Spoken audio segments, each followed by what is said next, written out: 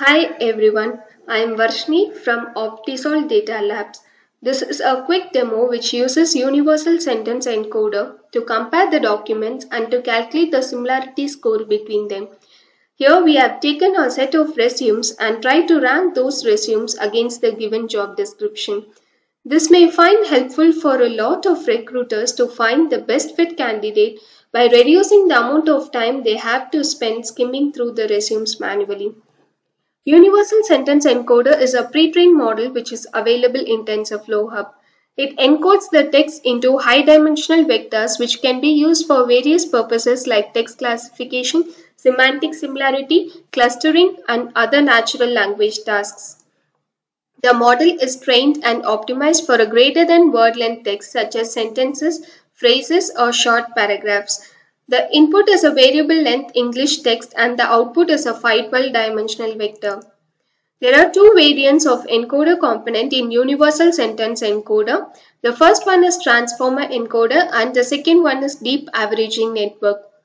Transformer encoder is computationally more intensive and it can be used in scenarios where you require a lot of computational power whereas deep averaging network is computationally less expensive but also produces better results. The model used here is a TensorFlow Hub model Universal Sentence Encoder 4 which implements DAN architecture. The diagram below uh, represents the architecture of deep averaging network where you will have uh, four here, three hidden layers, a final layer. You give the text as input and you get a 512 dimensional embedding. First, the embeddings for the word and bigrams present in a sentence are averaged together. Then they are passed through a four-layer feed-forward deep neural network to get a 512-dimensional sentence embedding as output. The embeddings for the word and the bigrams are learned during the training. Here we have considered a set of resumes and try to rank those resumes against the given job description. The text in the resumes are extracted and it is passed as input to the universal sentence encoder and the sentence embeddings are created. The embeddings for the job description is also fetched. The similarity between these two documents is found using cosine similarity metric. Here is the implementation of a use case. Here uh, uh, we have uh, created a folder called resume and uploaded all the resumes which we have to evaluate in the text format and here you can uh, upload a job description against which you, you have to evaluate your resumes. Uh, this is a sample job description which contains the details such as responsibilities, skills required, uh, job type, etc. This is a sample resume in the text format uh, which contains details like key skills, project work, that, work experience, etc. Here we have installed a package called doc2text and we have imported libraries like TensorFlow, Hub, doc2text, uh, Glob, NumPy, etc. This is the code to load the model, uh, TensorFlow model. Uh, it may take some time to load the model. This function is used to uh, calculate the similarity score between the two documents. It uh, finds the dot product between the two vectors.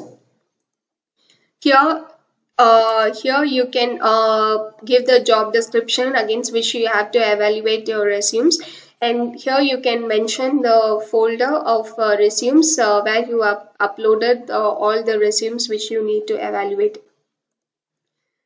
We have uh, created two lists, namely org list and the file name to append the similarity scores and the file name respectively uh, we uh, read the file and we pass the sentence list uh, uh, to the model to get the sentence embeddings. We also get the sentence embeddings for the given job description and we try to find the similarity score uh, between the two documents. Here you can see the output. Uh, here we have text tested against job description for a data scientist or machine learning engineer role and according to this uh, uh, set of resumes, uh, we see that the Jitin J. Nayar's resume is found to be more similar with the given job description uh, rather than uh, Ishrat Fatma resumes. Uh, to evaluate our output, uh, if we open uh, Jitin J. Nayar's resume, you can see this is a resume of a machine learning engineer, which goes well with the job description given. If we see Ishrat Fatma resume, this is a resume of an English teacher which uh, does not match with the given job description. Hence, we can see that uh, Jitin J. Nayar's resume is with a similarity score of 0.76 and Ishrat Fatma resume is with a similarity score of 0.22.